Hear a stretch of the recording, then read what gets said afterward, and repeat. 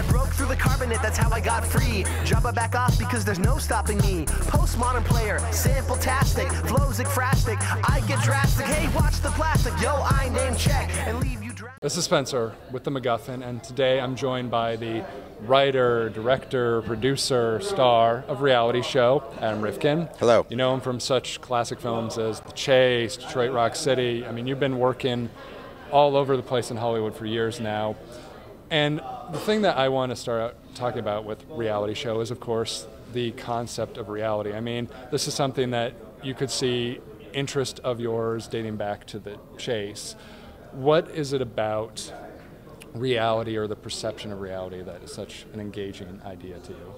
Well, I think I'm fascinated by voyeurism. I think I always have been. I'm a voyeur, but I think we're all voyeurs. Oh, yeah, I think. Uh, and people think of voyeur, the term voyeur, as being some creepy peeping Tom looking into a window. It's not the case. If you enjoy a movie, you're being a voyeur. You're looking in on these people's experience, this story that that's unfolding. And now, especially with new media and new technology, voyeurism has exploded beyond anything anybody could have imagined. It's you know with with Facebook and Twitter and YouTube and people put themselves voluntarily under surveillance 24 hours a day, and we all just look in on everybody else's business. I find that interesting. I mean, what do you point do you think it changed? I mean, you're definitely right with like Facebook, Twitter, and all that stuff. Was it like, I mean, for me, it seems, I guess, maybe around the time of Survivor where it really changed, where people got the, the notion of like reality being a career. Like before, you know, like Facebook and all that stuff, people do, and, you know, if you're famous or something, people might follow you.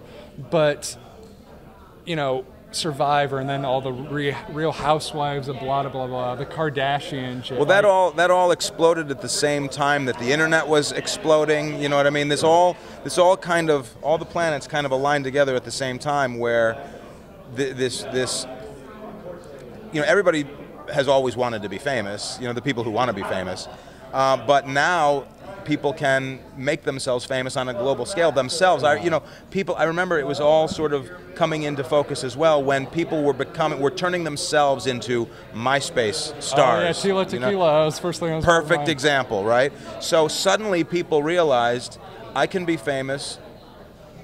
I can do it myself. I can create a, a profile for myself that I can project to the world, and it can make me famous. And I don't have to necessarily do anything other than professionally pursue fame.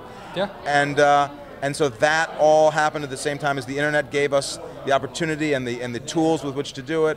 And reality shows became more and more successful. It just all sort of built and built and built on itself. And, and YouTube and and uh, the ability to people for people to to broadcast their you know their comings and goings to a global audience.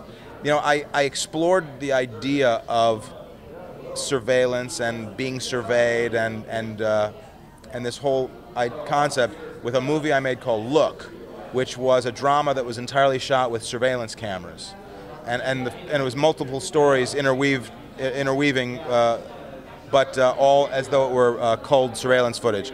I then did Look as a series for Showtime. Uh, Big Brother was sort of the theme of Look the movie. Big Brother and Little Brother became the, the theme of the TV show because I introduced webcams and phone cams and, and Twitter and Facebook.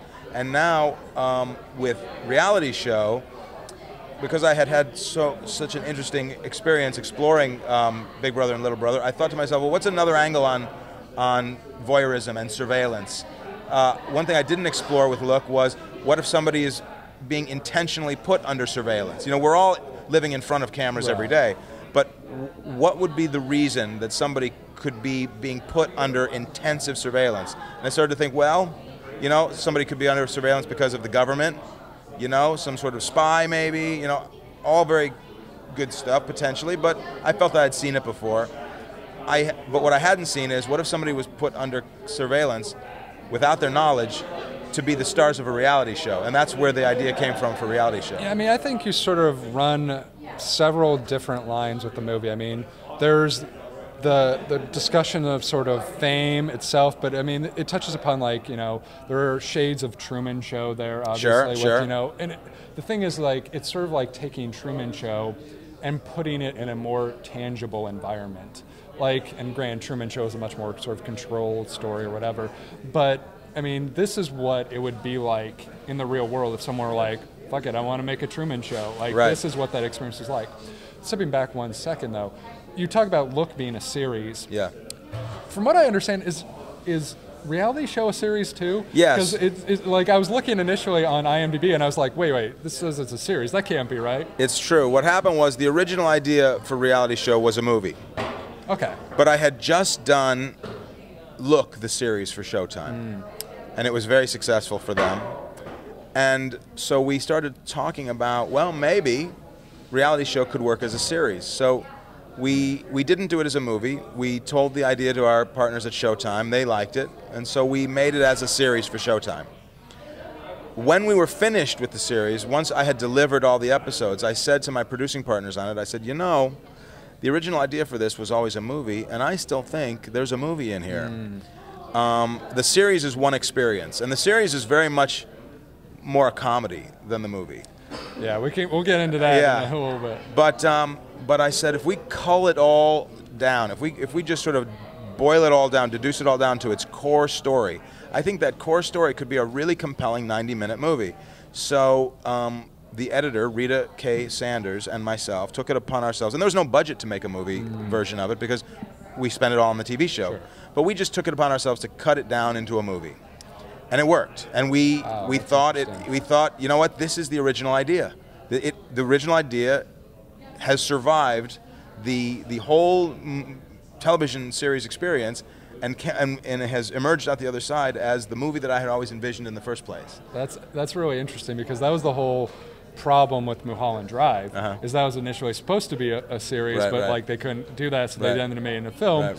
But yeah, I, d- I never felt like it was hashed together. Like it never felt like I was like, whoa, whoa, this is a jarring move in this Cool. film. It felt it felt very natural. Thank you, thank you.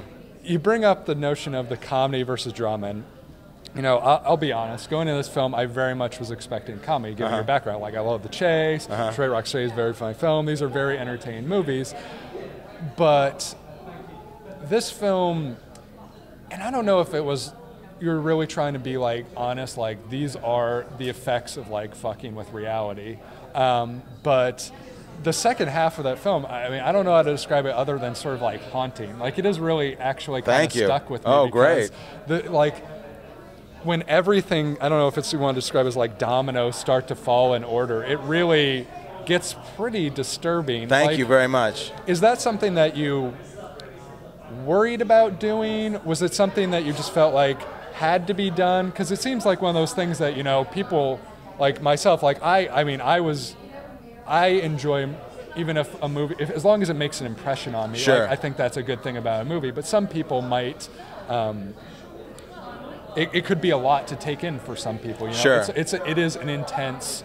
I don't know, last 30 minutes, 20 minutes, whatever that last portion Sure. is. Is that something that you're worried about, or you're just like, you know, let the chips fall where they may? I was I was worried about not going far enough. Really? Yeah, I wanted to make sure that it went for the throat, uh, and because what I wanted to do, I, listen, I'm not going to be a hypocrite and say I don't watch reality television. We've it's all seen it. It's impossible to avoid. It's impossible to avoid. It's part of the culture. Does it? You know, does does a lot of it kill brain cells? Of course. That said, true story. We watched a lot of Honey Boo Boo in the editing room while we were cutting this, um, and you know, I think there's a lot of obvious pot shots that could be taken at reality television. It's such an easy target. We all know it's fake. You know what I mean? But I just find it fascinating this this thirst that people have for being famous at any cost, and and also too the you know the technology is amoral, and it's our sense of morality that we we inject into it that makes an experience like what happens in reality show or in real reality television or the internet or whatever. It's it's the uh, morality that we inject into it that that gives it either that makes it either immoral or moral. You know, so because the technology just exists. So a character like the character I play, because I play, as you know, the producer who has this family under surveillance, and when they're too boring, he pushes it and pushes it and pushes it to make it more interesting, and it just goes dark. It Yeah. goes wrong. And so, but to him, to him, it's it's all about making this show a success, and he believes without any you know sort of morality obstructing his ability to do his job uh, as effectively as possible. He believes that if, it, if they can just get this show on the air and it's a success, that that fame that these people will experience will heal all wounds, no matter how bad it gets. Yeah, I mean, it's funny you bring up your character, the producer, because I, I, mean, I think I have. I don't mean maybe it's not a unique sort of perspective of him. Like I, th- I don't necessarily just look at him and think villain. Uh-huh. I think, I mean, he definitely goes into the whole thing with somewhat noble intentions. Sure. Like he just wants it to be reality. He wants Yeah. he wants it to be true reality. Right. And it feels like that working with the executives at the network Yeah. kind of wear him down. And by the end, I mean, I don't know if you want to say who he is just naturally comes out most at the end or that it's just the whole process of doing this that has sort of like grinded him down. But like, I, I don't think like at least in the first half of the thing that I looked at him was like, this is just like a maniacal Sure, manipulator who wants to like succeed at any cost. Sure. Like he like he seems like he thinks just it itself will be a success. Absolutely. And he rationalizes that, you know, if we just influence just a little bit here, we're not we're not contriving what's how their reactions are going to uh, be. We're just going to put a little obstacle in their way. And whatever they however they react to it, that's real. That that will be drama and it'll make the show more interesting. And then that hopefully will kickstart a much more interesting experience for the for the viewer. But he has to keep pushing it and pushing Yeah. it and the network pushes him to push it more. And and you're right, it, it's it's a slow burn. But like I was saying last night, it's the it's the old sort of um, story that if you throw a frog in boiling water, it mm. will leap out of the water immediately. But if you put a frog in tepid water and slowly crank up the heat before it realizes yeah. it, it's boiling. So that's how I wanted the experience for the audience to be. I wanted it I to be. I think that's a fair description. Yeah. Thank you. I wanted it to be light. I wanted people to not necessarily see him as a villain off the bat, but kind of understand, all right, these people are a little boring. It is a little annoying. Let's see what happens if you inject a little bit of interesting into their lives and what happens. And but then it, it goes too far. I mean, it's, it's sort of the thing about you think about like the Truman Show again. You know, they sort of are similar in that they try and do these things to make it more interesting. Sure. But granted, that feels much more like at the end of the day they want Truman to be a hero or whatever. Right. And in the case of reality show, you guys are just like you want interesting stuff to come out of the family, and so it, the manipulation is is much darker. You know, losing a job, you know, breaking a, a relationship going sideways, that kind of stuff. I mean, I guess the whole thing really sort of comes down to like, you know, discussion of things like Big Brother, like manipulating people's lives, because there there are sort of two distinct things going, on, like the documenting of people's lives and then the manipulating of people's Right, lives. correct. And I mean, do you look at this as sort of like a potential warning of like this is where I think things are headed? I, like, I do feel that this is a, to a certain degree a cautionary tale because I. I do feel that w- what the character believes he's doing and, and how he rationalizes that it's okay to do it. I do believe that, that we are not that far from that existing somewhere at some network with some producer who thinks this actually could be a good idea and let's let's try it. You know, the, the, peop, the reality television pushes the envelope so far with what is, you know, potentially, arguably inappropriate or appropriate behavior, but it always, yet we're always shocked when it goes a step farther than we thought it could possibly go. I believe what happens in reality show could happen. You know, you, the movie, the biggest inspiration for the movie was not the Truman Show. The biggest inspiration for me, as far as other movies go, was a movie called Network, hmm. which was written by Paddy Chayefsky, directed by Sidney Lumet. yeah. Classic, brilliant movie, and it basically that movie was a prophecy. It predicted how it predicted the, the, the, the situation that we are in now with the media.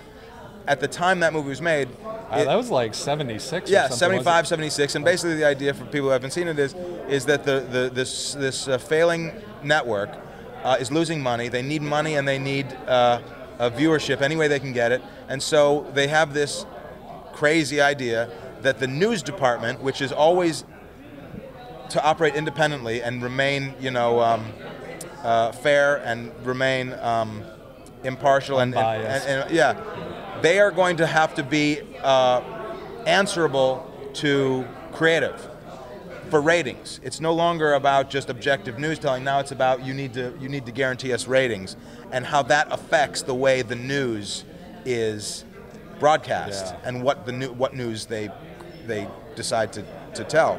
And so at the time the movie came out, it was seen as an outrageous satire. Very successful movie, brilliant movie, but people thought that was nuts. Now it's so much worse in real life than that movie could have ever predicted. Yeah. So in, in reality show, I am convinced that if it hasn't happened already, somebody is thinking that a reality show with somebody being the star of this show without them knowing they're the star of a show is either happening or has at least been discussed. That's that's one of the things I want to ask you about. Did you actually look into the legality of it? Because that's one of the funny moments in the beginning. I was like, we looked into it. The most we could do was like a misdemeanor. Like, Yes, we did look into it. We looked into it quite extensively, and there are there are a host of legal reasons why it would have been okay to a certain degree to do it, and why it would have been worth the ah, risk.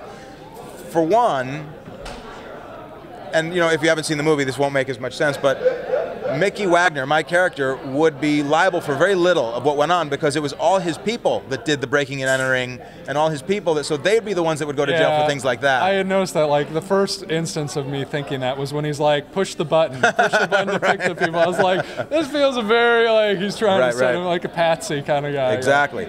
So, that, listen, you can put you can broadcast anything, and there's a way to get around the legality of it. So scary. this is definitely something that I think could be in our future, for better or for worse. That's scary. But can I tell? I just want to tell you this: reality television, right, satisfies the same thing in us all. It, it goes back as far as people go back. S- Satisfies the same thing in us all that drew us to the Colosseum to watch Christians get torn apart by lions, and it's the same thing that drew us to watch witches burning at the stake, and it's the same thing that drew us to watching public hangings. And it's you know everybody loves a train wreck. People can't control it. It's just a part of human nature. So reality television is sort of the current version of going to the freak show, going Yeah. to the gladiator match. And it's just something in us all needs to see. primal. Yeah, this primal need to see that they're way worse off than me, and that makes me feel a little bit better about myself. Yeah. The other thing that's sort of something that I really love, I, I'm a huge 1984 fan. Me too. And absolutely. there's an element of that really very much in this film where, like, you know, it's not even so much that you're documenting this guy's life, but like it is. It is capturing everything about this life. You guys are everywhere, and like I think that's part of the funniest thing is like when you're having, I think, lunch with your ex-wife, and you're documenting that, and she's like, "Why is that guy there? Is this being filmed?" And Right, so I'm right, like, right. "Oh yeah, I film everything I do Right. now," and the the notion of just cameras being everywhere, capturing everything we do, like you know, our lives being constantly under surveillance, was that something that you thought about when you were putting this together as sort of an influence? Because it really, I mean, the the notion of like our lives constantly being controlled is one of the things that's stuck with me about 1984 because that's such a terrifying idea. Without a doubt, and that's and, and I and I dealt with that in the movie and the TV show Look, and also in this. I find that fascinating. I find that terrifying. There is no privacy anymore. I mean, there's nothing you can do. I mean, I guess you could leave your phone at home. You could uh, and just start walking into the desert. But yeah, I mean, and eventually, there's probably know, somebody in the desert with a phone. Probably. it, Like, everyone has a camera. there's now. no um, there's no there's just no privacy anymore and so um, and that listen i'm not saying that's good or bad that just is reality it is. It is what it so and and with and with this sh- movie one of the things that you know as a subtle little thing that i i touched on but i'm glad you picked it up you know he they they know the, the producers know not only everywhere they're going and everything they're doing because they're filming it but they know every credit card you know receipt. Every time they've Oh, used a credit card they know where they used it what they used it for what how much what the you know they know that it's this is a really good time for stalkers in the world unfortunately for everybody else because um, you, you just have access to you know like like you can you can hack into people's webcams Oh, yeah, We- cell phones webcams Yeah. you can hack into anything you can you can watch into people's homes without them knowing it terrifying i have a piece of tape over my laptop Yeah, yeah, webcam you're- I know definitely people because do that, people yeah. do that I mean, uh, you bring up a good thing. I mean, obviously, you are a celebrity. Like, it, what, what is what was the element of that sort of like? I mean, do you really consciously think about these? I mean, obviously, you put that over your phone, but I mean, you know, everywhere you go, you know, there's probably people following you, looking at you, I- taking photos of I, you. I like, wouldn't. I, I, you, you flatter me so, and I appreciate that. And uh, I, I will, I will accept the term celebrity as a, as a, as a compliment. So thank yeah, so you. that's what I mean. Thank you very you're much. recognized for your I, work. I, I um, there, there are some, a few film geeks who occasionally will recognize me, and that is always appreciated. And I thank them for their support. No, it, no, but seriously, I don't have to worry about it. Really, luckily, like, I mean, listen, we live in a world where everybody it's an issue with. I mean, uh, almost every girl I know has been stalked, either by somebody who has a crush on them or by an ex or something. It's it's a scary world for everybody, you know. And so I can't even imagine what it must be like for a genuine superstar like. You know, like uh, Jennifer Aniston. Jennifer Aniston. I mean, everywhere you go, everything you do. No wonder they're so guarded. You know, it it's easy to say when you're at home looking at them, God, that person's an, a, a jerk for the way they react. But it must be very bombarding for the big stars, uh, you know, on a regular basis. If it's that bad for just about everybody else, you know. And in terms of like the film, I mean, obviously you are one of these stars. I mean, there are any number of people I guess you could argue as the star of the Sure, film. Sure, sure.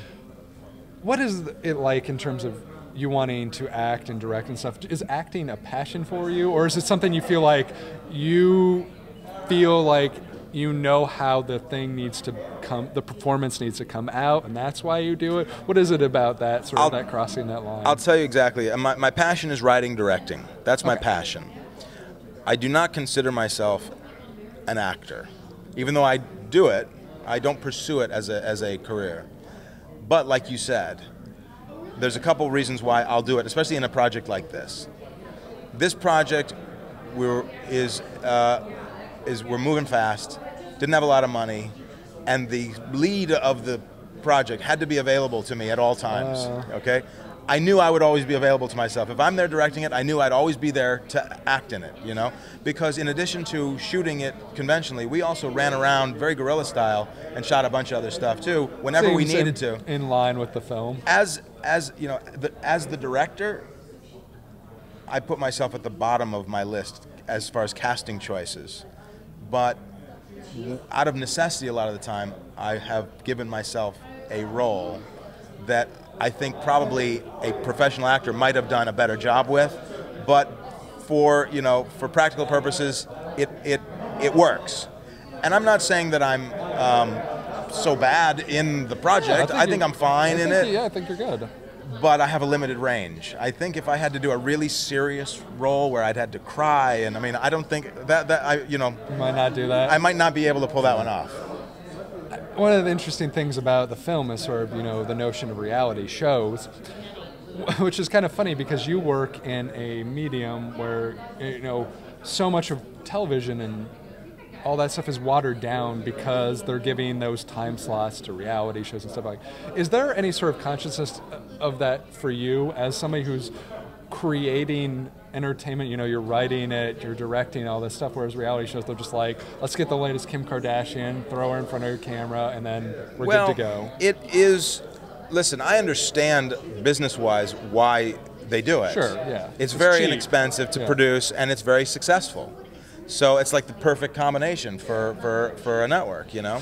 Um, would it be better if there were more really great original scripted shows being made? Absolutely. But you know what? The the the momentum it just takes things the direction that it takes things. The tide, you know, the tide is the tide, you know. And so I I wouldn't want to gripe about that as much as I'd want to find a creative challenge within it. So for me, instead of just being upset and angry that that was the case uh, in the current climate, I thought, well, what if I make a movie and comment on it? Mm. And that's how reality show emerged. So in a way, what pissed me off about it gave me the opportunity to make this movie that I never otherwise would have thought of. So, you know, if they're coming to you with like, "Hey, Adam, we want you to do the Real Housewives of Portland," you could try and find the creative challenge in that. There is totally a fun way to to skewer something like that. I could I don't think I could do a reality show for real. Yeah. I don't think I could take it seriously. If I was going to do a reality show for real, it would have to be some sort of messed up or or you know satirical version of a reality show. You know. You know, obviously, a lot of your past has been doing, uh, I guess, more narrative type films, you'd say, and now you're in sort of more of a uh, faux reality kind of Yeah, sort of way. docu style. Yeah.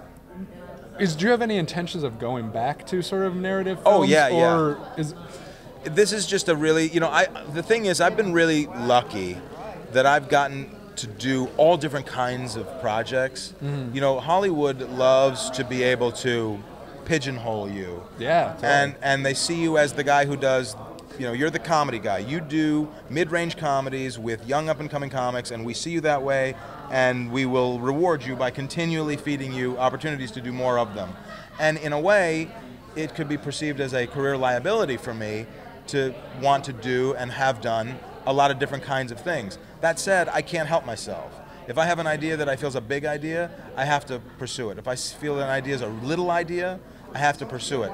Funny idea, scary idea, drama. I just there's I, I love telling stories. I want to tell all different kinds of stories. Like for example, the next movie that I'm making is a just straight up drama. It's not faux, you know, docu style. Yeah, it's not yeah, reality style. It is is straight you know, uh, narrative drama, and I'm it's it's a passion project. I'm really excited about it, and it's a total departure from the last couple years that I, uh, of stuff I've been doing with the look and with the reality show. In terms of like the technology of it, obviously this takes advantage very much of like sort of the digital age of filmmaking. Is that something that interests you, or, or, or are you sort of like, I mean, is that just because of the topic? I mean, do you want to continue doing that, or are you more of like a classical film person in general? I love film. Don't get me wrong. I love shooting with film. I love the look of film projected. But I am not um, one who wants to, you know, dig my heels in the sand and say I'm a purist, and film is king, and everything else is crap, and the world is going to hell in a handbasket. You know, I, to me, progress is progress. Things move in in the direction they move in. You know, people people railed against sound when it was new. You know, so th- they screamed that you know the sound ruins the, the the fact that film is an international language that that is you know that that is understood through faces and expressions, and you don't need language. It's the language of emotion, and you know. Uh, but then of course, when sound kicked in, everybody realized, oh, sound is great. Same with color. Same with every every new uh, advancement. You know. That raises a good question, though. Being sort of someone who's willing to adapt to Margaret, does this mean that we're going to see a 3D movie coming from you sometime soon, something like that? Let me put it to you this way: I have always loved 3D when it is done creatively and when it's done right.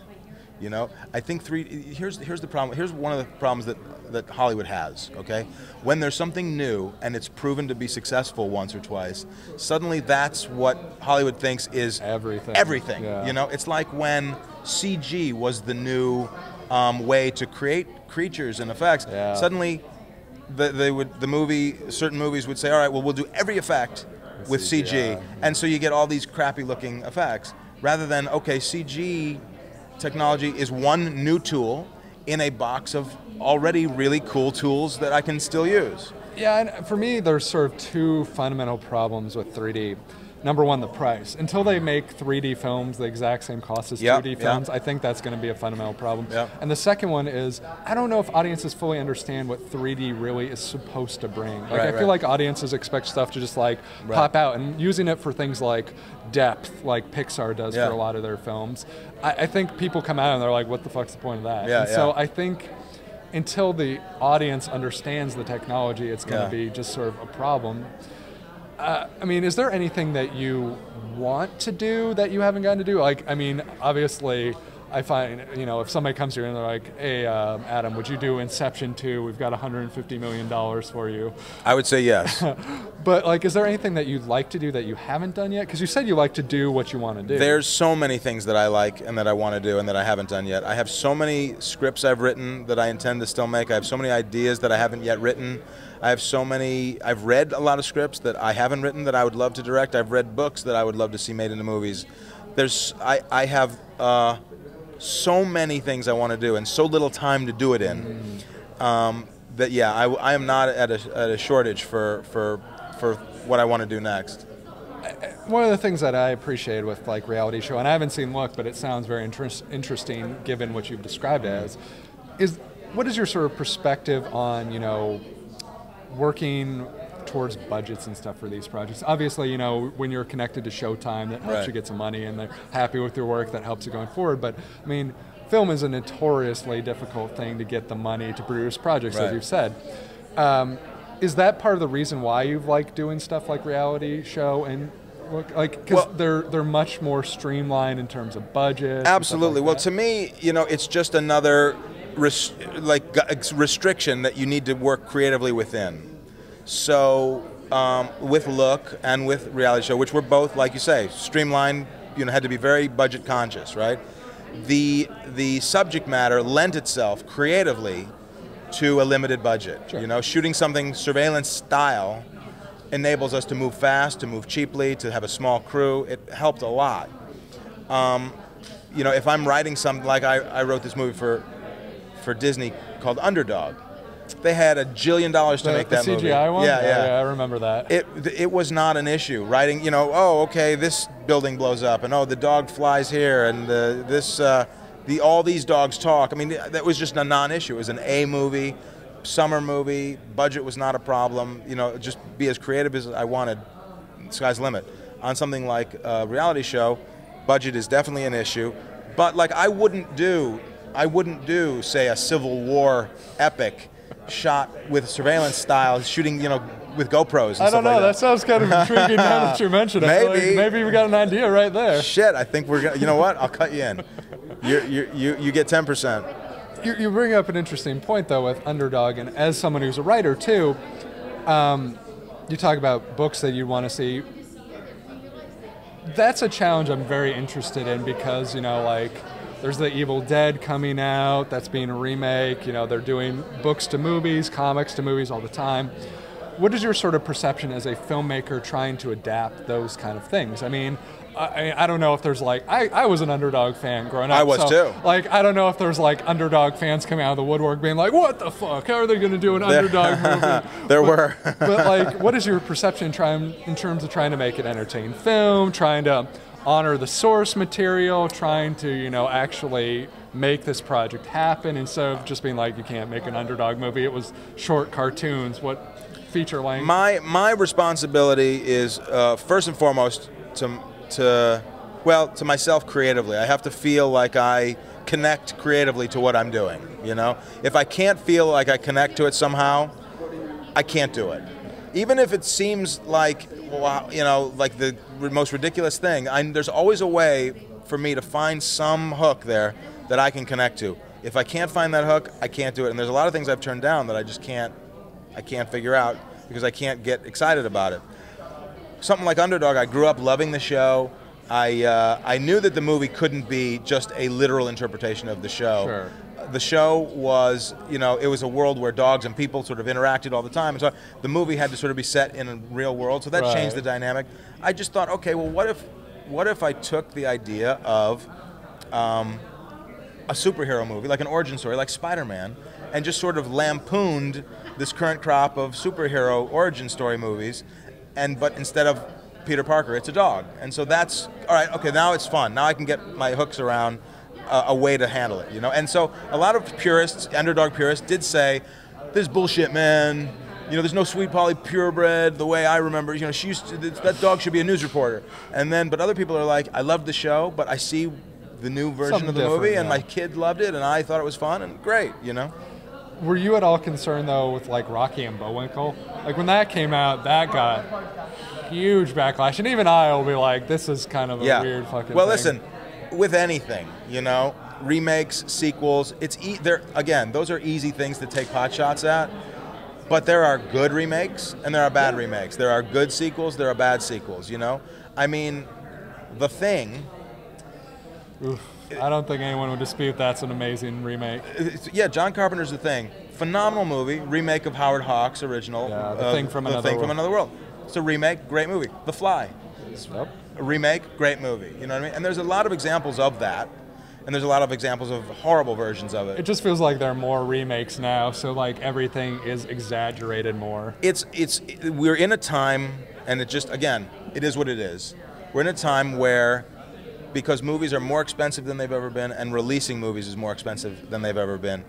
The marketing people at movie studios feel like if there's some awareness of a title that that exists prior, it just gives us a little bit uh, more of a safety net. Battleship. Than that's but that's how they think. You know, that's that's Oh, no, that's, absolutely that's right. why they choose what they choose. I'm not saying they're right. I'm just saying that's the mindset. So that's what we have to. Okay, so so the idea is okay. Here are the new rules. We have to work within these rules. You know, because because we can be upset, but it doesn't change it. So we just need to be creative within what the, the current set of rules are. Does that make you sort of reevaluate the projects you look at? Do you like you go like, look, look, look, I got a Connect Four movie. It's gonna be fantastic. Listen, I've been in I have been in meetings you, that you would not believe the things that they're trying to make movies out of. That I mean, I, I kid you not. Pr- like I, I uh, th- there's a joke that um, Gore Verbinski, who is a friend and a fabulous director, Very talented very, guy. very, I'm very excited about Lone Ranger coming out. He said, you know, because he's been in the, more of these meetings than anybody. He said, you know, I just want to sit down with a uh, in a movie studio uh, uh, executive's office and put a box of Cheerios down and say, you know how many sell every year? Cheerios the movie, pre-existing awareness. Let's make the movie Cheerios. And he said they would just leap to doing it just because of the awareness of it. There's no movie there, but that's that's where we are, you know.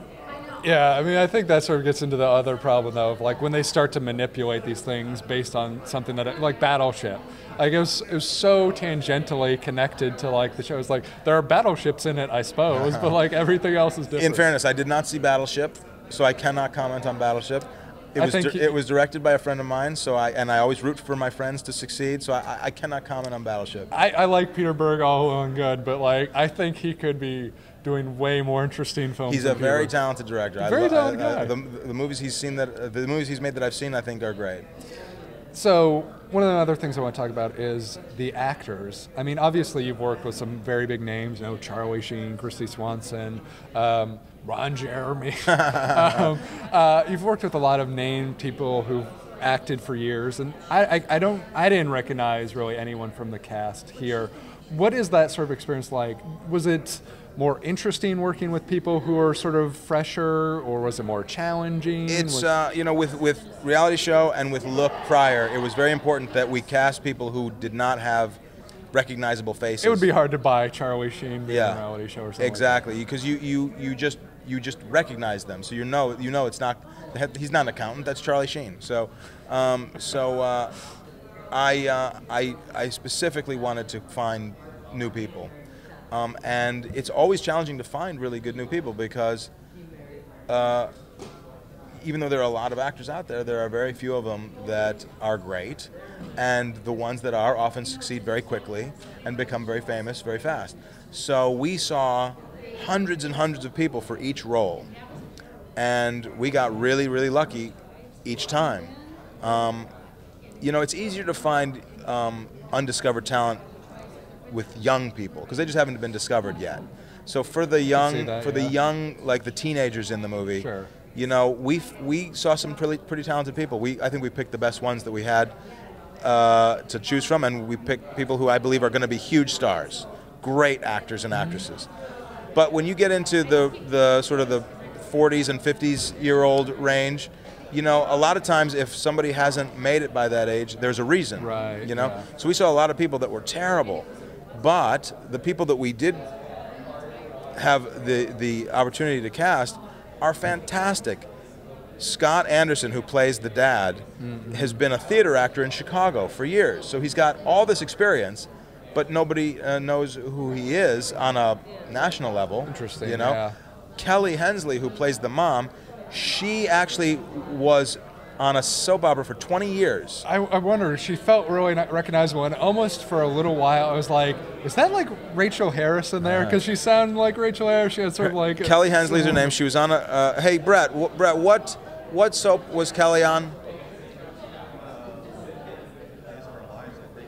He, we think it's Days of Our Lives. We could Okay, be we'll wrong. go with that. Okay. That's a Uh, that's a As the world turns, could it be? Anyway, whatever. There's any number. whatever one it was. She was on for 20 years, but and when she came in to read, we said, "Look, you're obviously the best actress for this role." But and but here's two problems. You have a fan base, so people will recognize you. And two, you look too hot. Yeah. You're Nobody's too- gonna believe Nobody's gonna believe. Yeah, nobody's gonna believe you're this this mousy wife who's never had good sex, who's not sexually aware. She said, "I'm an actress. Please, I will, I will change my look. I will completely immerse myself in this role." And she did. And nobody recognized her, and she gave a fantastic performance. And she put a wig on and glasses and frumpy clothes, and and she transformed into this mousy housewife. Now, for the scenes where she's naked, you can see she's got a slamming Right, body. yeah. she, she just looks great, right? But I figured by that time in the movie, it's okay. Yeah. You know? One of the things that this obviously makes it makes sense that there's a show based on it too. Have you ever thought about doing stuff like web series and stuff? I mean, obviously that's getting bigger budgets. I mean, now things like House of Cards are obviously Sure. out there. But is that is that a medium that you've even thought about going to? Because it feels Absolutely. like you could do something like that, especially with something of this sort of um, streamlined level of Sure. production. I've absolutely thought about that. Listen, the, the, the exciting thing about today is that all the rules have changed. The, the, all bets are off, you know? Movies, TV shows, short form TV shows, short content, uh, webisodes, the, phone content, it's all available. And it, the, the, it's just, just as creative as you can be is the restriction that you have, uh, uh, uh, you, you have to work within. So I'm, I'm for all of it. I think all of it is exciting, and I want to work in all those forms. Do you prefer working more sort of in an independent medium so that you have more of the creative control? Because I, I mean, I can't speak for like The Chase and Detroit Rock. Say I love both those films, but I would imagine they probably would. The studios would be very much involved with those kind of things, sort of giving you notes. And Um, it depends. You know, I I generally prefer to, as a filmmaker, as a writer director, make films that I have more creative control over, and so usually the less of a budget you have, the more control you're given, just because it's less risk yeah. for the company giving you the money. Um, that said, I've had some fabulously creatively fulfilling experiences being involved in some very big movies. You know, I mean, I uh, I wrote a movie called Mouse Hunt um, for DreamWorks. Was that the Nathan Lane? yeah, yeah, I total creative, uh, fantastic creative experience. Small Soldiers was also DreamWorks, another fantastically right. creative experience. You know, I've also had experiences where there's so many cooks in the kitchen that it just makes you want to tear your hair out. But you know what? That's just that's Nature that the that's the nature of the business. yeah.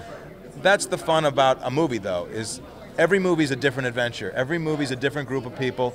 Every movie is a different uh, experience, and so sometimes you're going to get a lot of cooks. Sometimes you're going to get total freedom. It's all it's all fun. I feel like you're speaking from somebody who's been in Hollywood for like I don't know 20, 30 years. That sounds because about we've- right. We've been dicked over enough times. Just it is what it is. Like and accept it. But you know what? It's it's it's easy for people, and I've seen a lot of people get this way. It's easier for people to get angry and bitter over the way it is.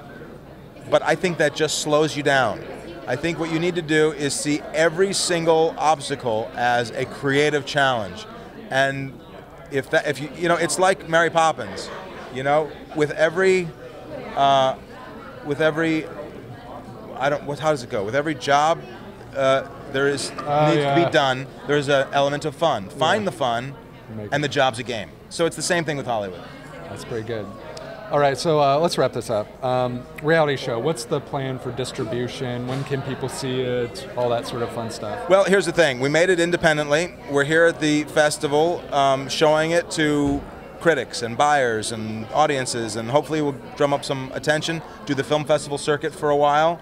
You know, make a nice uh, deal with a, a distributor. We'd love to take it out in sort of a platform release. It's obviously a specialty film. Yeah, I mean, it, I mean, especially that second half. People, people are either going to probably love or hate that. I can imagine. Yeah, so I, I, I don't see it as a 3,000 theater release, you know, in malls across the country kind of movie. So the plan is, you know, do the festival circuit, find a distributor who gets it, and take it out as a platform release, get some attention for it, and then you know hopefully it takes a life takes on a life of its own. And the series is or was The series on H- Showtime. was on Showtime, and if it's not still on demand on Showtime on demand, it will be available in other forms soon. Uh, is there a website or anything for the movie version? RealityShowTheFilm.com. Uh, and in terms of you, uh, I know you have a Twitter. Just Adam. At Adam Rifkin. All right. Is there anywhere else you will have people be able to follow? I'm easy. I'm on? easy to. Uh, I'm easy to find on Facebook. You know, I'm I'm at my friend limit, but everything that I post, everybody can see. So feel free. You know. Awesome. Um, well, I wish you the best of luck getting reality show out there, and I can't wait to see what you do next. I appreciate it, man. Thank, you, very much. And uh, check out more interviews at MacGuffinPodcast.com. T1000 can't stop me. I'm on fire tonight. Magneto can't stop me. I'm on fire tonight. Even Zod can't stop me. I'm on fire tonight. It's tight. Don't even try to bite the side style. Mr. Spock can't stop me. I'm on fire tonight. The Wrath of Khan can't stop me. I'm on fire tonight. The Borg can't stop me. I'm on fire tonight. Because I've got space game and it feels alright.